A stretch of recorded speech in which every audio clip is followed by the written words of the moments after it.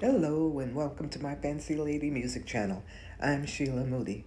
Well, on October 19th, I attended the listening party for the new album from multiple Grammy winner Fantastic Negrito. The album is entitled Son of a Broken Man. And let me tell you, the first impression that I got when I walked into this party was that everybody in the joint is a beautiful person. I mean, I didn't see one unattractive person here. It was almost like, if I didn't know any better, I would think they were hired. Anyways, um, I was ready to buy a ticket for the event, but then I saw my friend Zaza on the way there, and she was gracious enough to grant me her plus one. So, um, you know, I was blessed for the afternoon.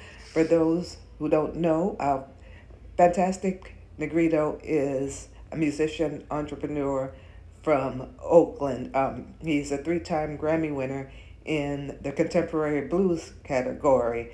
His albums include, um, let's see, The Last Days of Oakland, Please Don't Be Dead, and Have You Lost Your Mind Yet?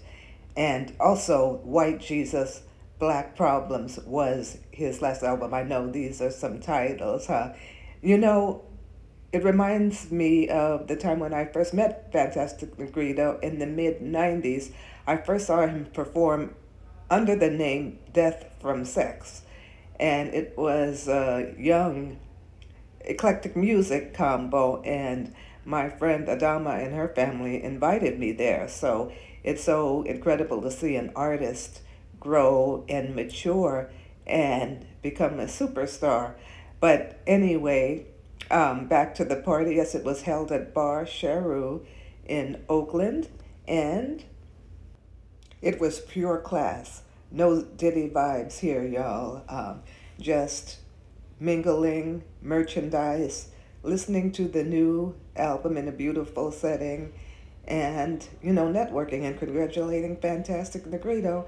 So hopefully everyone will check out Fantastic Negrito's new album that's Son of a Broken Man. And on this album, um, Fantastic Negrito, his real name is Xavier Amin Du. Hmm, I'm going to butcher this name, y'all. Hold on, hold on. Xavier Amin the D'Phre Paulez, D P H R E P A U L E Z Z. My apologies, um, Xavier, for mispronouncing this fabulous last name. Anyway, check out Fantastic Negrito's new album, Son of a Broken Man, and he goes into the history about his relationship with his father and his life growing up. So, yeah, um, he's expounding on the storytelling tradition established by great blues and rock artists. Peace out, y'all.